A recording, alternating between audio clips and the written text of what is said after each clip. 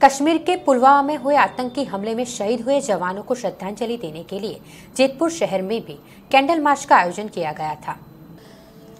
कश्मीर के पुलवामा में हुए आतंकी हमले को लेकर देश भर में हर एक नागरिक स्तब्ध है और साथ ही सरकार से बदले की मांग कर रहा है। जेतपुर शहर में भी इन जवानों को श्रद्धांजलि देने के लिए कैंडल मार्च रखी गई थी। इस कैंडल मार्च में 5000 से ज़्यादा लोग जुड़े थे और शहीदों को श्रद्धांजलि दी थी। लोगों ने पाकिस्तान मुर्दाबाद के नारे लगाए थे और पाकिस्तान के राष्ट्रध्वज को जलाकर रोष व्यक्त किया था।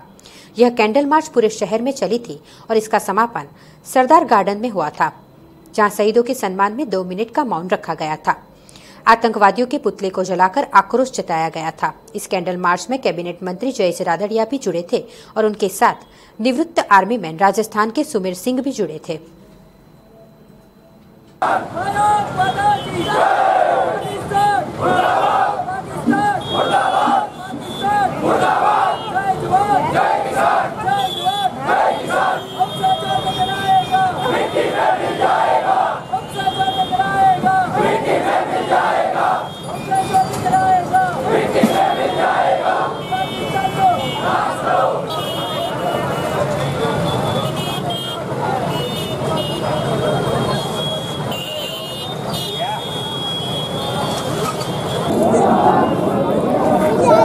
ગઈકાલે જે દેશના જવાનો માટે, જે દેશના જવાનો શહીદ દેશને કલ્પી ન શકાય, એવી જે ગઈકાલે ઘટના બની છે, જેના શહીદો, શહીદી એડે ન જાય સમગ્ર આખો દેશ શહીદ પરિવારની સાથે છે સમગ્ર આખો દેશ એક થઈને બહાર નીકળ્યો છે, ત્યારે એના ભાગરૂપે આજે જેતપુર ખાતે સમગ્ર જેતપુર સાહેબના સ્વયંભૂ લોકો દ્વારા આજે કેન્ડલ માર્ચનું આયોજન કરી અને આ શહીદોને આજે શ્રદ્ધાંજલિ અર્પણ કરી છે.